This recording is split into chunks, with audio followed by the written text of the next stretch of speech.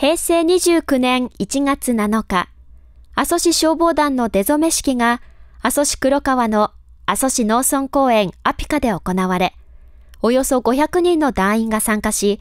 今年1年の市民の安全確保と無事故を誓いました。阿蘇市内12分団ごとの分裂行進で入場した団員を前に、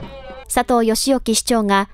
昨年4月の熊本地震、10月の爆発的噴火においての団員の活動に感謝の念を示し、ねぎらいの言葉を述べました。また、平成28年度永年金属者功労者表彰の伝達などが行われました。そして、梅野隆則団長が、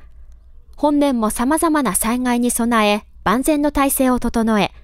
住民の皆さんが安心して暮らせるような安全な地域づくりに努めていくとの決意を述べ、団員の士気を高めていました。